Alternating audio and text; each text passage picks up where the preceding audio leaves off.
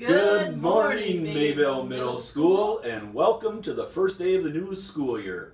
Please join us in saying the Pledge of Allegiance.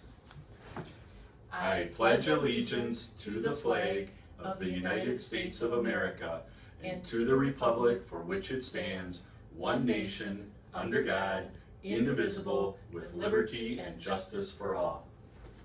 It is the first day of school, and I am Mr. John Schlender, your middle school principal. Our theme this year is going to be There's No Place Like Home because we want every one of you and every one of our staff members to feel like they truly are at home here in our middle school. So, with that, I want all of you returning learners to take some time and go out and meet some of our new learners who are joining this joining us this year at the middle school for the first time.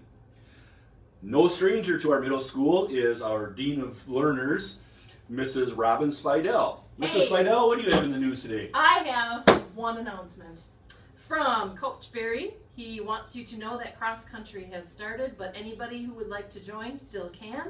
You should go to the high school lower gym after school on Friday or Tuesday of next week.